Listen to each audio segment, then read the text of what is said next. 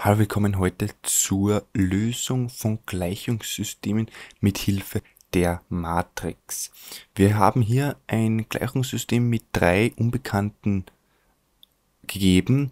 Man kann die Matrix auch für 4, 5 oder so verwenden. Das Grundprinzip ist immer gleich.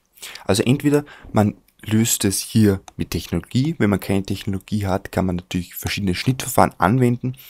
Aber am einfachsten finde ich ist einfach hier die Matrix-Schreibweise, um so ein Gleichungssystem eben zu lösen. Es geht zudem auch ziemlich schnell, also ich rechne jetzt jeden Schritt einzeln, das muss man aber im Endergebnis nicht machen, dann ist man wirklich viel schneller als mit so manchen anderen händischen Methoden dieses Gleichungssystem zu lösen. Und am Anfang habe ich jetzt mal das Ganze in eine vereinfachte Matrix-Schreibweise geschrieben. Ich habe jetzt die Koeffizienten x, y und z bereits weggelassen, denn die brauchen wir jetzt vorerst noch nicht. Also wir schreiben das Ganze hier so auf, also in der ersten Zeile haben wir diese erste Zeile ohne den Koeffizienten, zweite Zeile die, dritte Zeile die. Es fällt schon mal auf, ich habe es hier schon schön untereinander geschrieben, alle x-Werte, alle x-Variablen, z-Variablen und y-Variablen äh, werden hier auch untereinander geschrieben, wenn eben so wie hier kein x vorhanden ist, setzen wir einfach eine Nuller dran. Hier so einen schönen Strich mache ich immer und das Ergebnis. Um dieses Gleichungssystem zu lösen, müssen wir jetzt schauen, dass wir eine Dreiecksmatrix zusammenbekommen.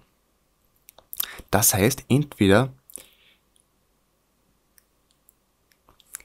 dieses Feld hier oder dieses Feld herauf oder irgendein Feld, das ist halt, also es kann eh nur vier geben, entweder das Eck hier unten, das Eck hier oben, dieses Eck oder dieses Eck. Irgendeins von diesen Ecken soll oder besser gesagt muss jetzt mit Nullen gefüllt werden. Also so wie ich jetzt hier eingezeichnet habe, müssen wir jetzt eben schauen, dass wir diesen Dreier und diesen Minus Zweier hier wegbekommen und jeweils eine Null dran setzen, denn dann können wir eben das Gleichungssystem lösen. Also, wie gehen wir da jetzt vor? Es gibt jetzt wieder mehrere Möglichkeiten. Ich sehe jetzt hier schon mal, okay, die erste Zeile möchte ich jetzt mit der dritten Zeile äh, so verpacken, dass eben da unten der Dreier zu einem Nuller wird. Wie mache ich das Ganze jetzt? Ich multipliziere die erste Zeile jetzt eben mit mal 1,5. Ich habe jetzt eben nichts anderes getan, als die erste Zeile mit mal 1,5 zu multiplizieren. Und jetzt sehen wir schon mal diesen Dreier und diesen Dreier, also den oberen Minus 3 und den unteren Dreier, den können wir jetzt eliminieren, um, und zwar indem wir jetzt einfach die erste Zeile plus der letzten Zeile rechnen, wo jetzt eben das herauskommt. Wir haben gesehen, minus 3 plus 3 ist logischerweise 0, somit haben wir hier das schon weg. Somit haben wir hier schon mal einen Teil von unserer Dreiermatrix. Jetzt müssen wir nur noch schauen, dass wir eben die 19 wegbekommen, dann sind wir eigentlich auch schon fertig. Wie machen wir das jetzt wieder? Es gibt, wie gesagt, wieder mehrere Möglichkeiten. Man kann jetzt die zweite Zeile mal 4,75 rechnen. Jetzt haben wir hier wieder minus 19 und plus 19.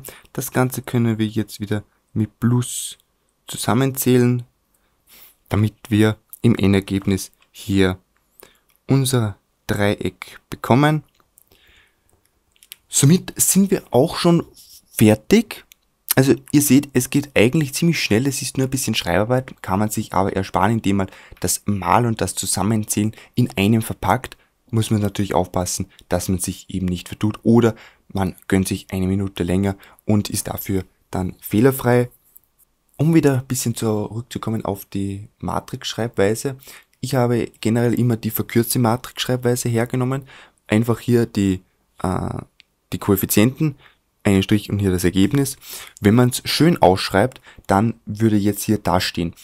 Sprich, unsere Erstzeile, zweite Zeile, dritte Zeile, wie hier auch, dann x, y und z und das Ergebnis. Dabei ist jetzt eben zu beachten, dass eben die erste Zeile hier x, die zweite Zeile y und die dritte Zeile z ist. und hinten dann das Ergebnis. Wenn wir jetzt das kennen, dann können wir jetzt auflösen und zu unseren Koeffizienten x, y und z schließen. Dazu gehen wir einfach ganz normal her wie bei einem normalen Gleichungssystem. Schauen uns jetzt das an. Das ist x, das ist y, das ist z und das ist das Ergebnis. Nachdem hier das alles 0 ist, haben wir hier 41,5 z ist gleich unser Ergebnis von 75. Wenn wir jetzt durch 41,5 dividieren, dann kommen wir auf unser Ergebnis und zwar z ist ungefähr, ist gerundet